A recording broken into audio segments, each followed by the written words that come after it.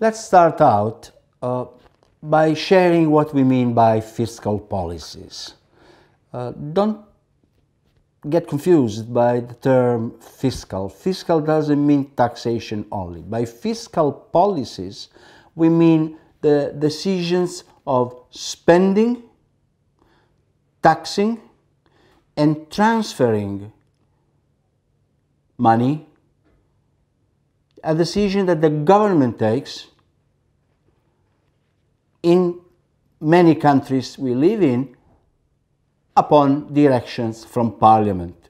So parliament is the legislator, government is the executive branch of power and they take these actions. They spend, they tax and they transfer money across social groups and across individuals. Now, uh, who gives them this power? Well, we do. We give the government power to do this. Now think about the government, please, not as a household. Government is not a household. Government appears to be like one, but it is not. First off, the government is a political entity. Whatever decision a government takes is political in nature. Now, uh, Political means it is a choice. It is, nothing is due in what the government does. A government does what it does. Now, we will not issue any value judgment about what the government do, governments do. For instance, a government may decide to spend money on uh, national defense, uh, whereas another government may decide to spend money on infrastructure or on healthcare for its citizens. We do not issue judgment. What we care about is the following question. Why do they do it? So what are the goals of governments when they spend, when they tax, when they transfer? Well, a government spends, usually we say, because it wants to counteract some tendency it doesn't like in the economy. For instance, if the economy is sluggish for some reason, it doesn't grow, there is unemployment, well, a government may decide to step in and generate new income by spending, building a hospital or a, a highway or uh, whatever. Now you see that this is a counter-cyclical role that government spending has. Of course, they can do it the same way, uh, kind of, uh, through taxation.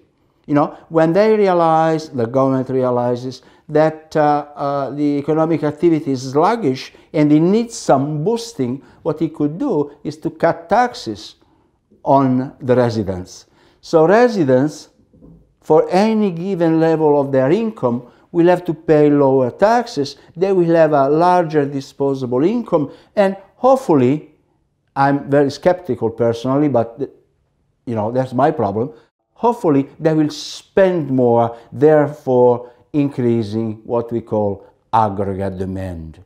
So the government can make the uh, economy grow faster by spending more, by reducing taxes or by transferring money from some social groups and, or some individuals to other social groups and other individuals who might have a higher propensity to spend or a higher propensity to consume, we say. You see, the government is big.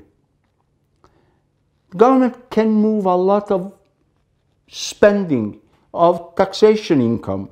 So it doesn't really matter in the end whether the government is right wing or center or left wing. A government is not a private individual. It doesn't act in a selfish way as individuals do. It acts in, gen it acts in general in the interest of the citizens. We don't give a political judgment on governments. We judge them according to how good they are at stabilizing the economy at a relatively low level of unemployment. That's what we ask of them.